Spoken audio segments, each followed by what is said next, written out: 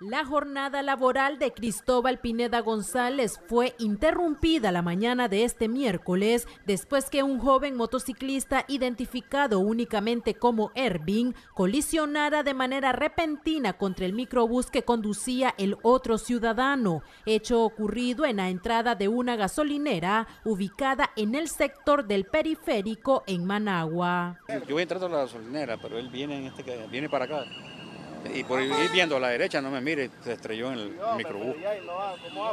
¿Ah? No, no, es que estaba un carro al otro lado y él de repente salió por aquí. De repente salió aquí.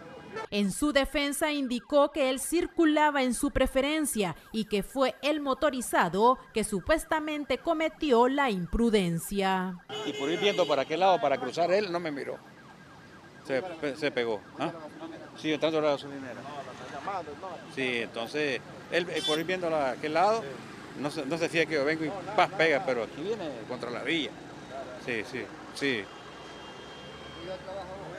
Echar gasolina porque voy a rutear, voy a vender a los pueblos. Miembros de los bomberos llegaron al lugar para atender al lesionado y trasladarlo hacia un centro asistencial, mientras agentes de tránsito a través de las investigaciones determinarían el grado de responsabilidad de ambos conductores. Con cámara de Ángel Ruiz, Yarik Sacalero, Acción 10.